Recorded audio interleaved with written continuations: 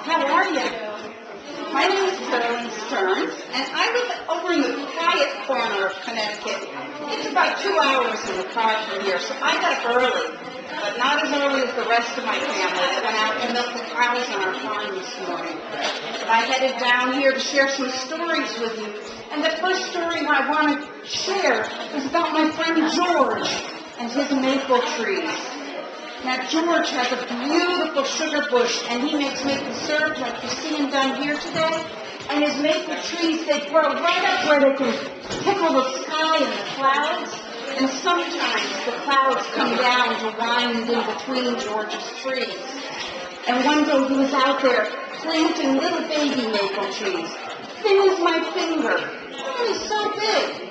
And he did a big, deep, soft hole in the earth, and he poured a whole thing bucket of water in, and he put that little baby tree in ever so gently, and softened the earth like blankets all around the baby tree. And he carefully staked it so the wind wouldn't blow the little baby over. And he'd lay some mulch around it, and he'd move on to the next spot, and he'd dig another deep hole, pour in the water, add the baby tree. Now, as he was going down the line, the baby trees were all lined up in nice rows. Lots and lots and lots of little maple trees. And his good neighbor came along and said, George, you're planting trees today. George kept right on working. Too many babies waiting to get a drink of that bucket of water. They kept working and working, but he didn't mind visiting while he worked. He said, well, all these baby maple seedlings, I gotta get them in the ground today. They just arrived. And so he kept working, and he goes, but George, how long before they give us maple syrup?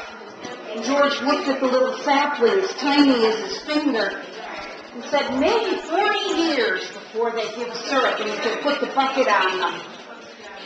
40 years, George? You think you'll be here to see that day? I don't know, said George. I hope so. And he kept right on shoveling holes and pouring water and planting baby trees. But his friend was puzzled that George would work so hard, the sweat pouring off his face, working and working on trees that he may never see the maple syrup from. Because, George, why bother? With all this work, you're sweating, you're exhausted, and you have rows and rows of trees already in. And George stopped and sat back for a moment, rested on his shovel, and he said, Look, when I was born, we had maple syrup because my grandfather planted trees. And when my children were born, my father was out planting trees, and now I'm planting baby maple trees so that someday my grandchildren and my great-grandchildren can have maple syrup.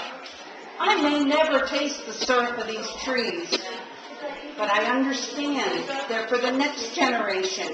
And George dug another deep hole in the ground and poured in a whole bucket of fresh cold water and put the baby sapling, small as his little finger in, and covered it with soil gently like blankets. And he moved on to the next. That's the story of George and his maple trees.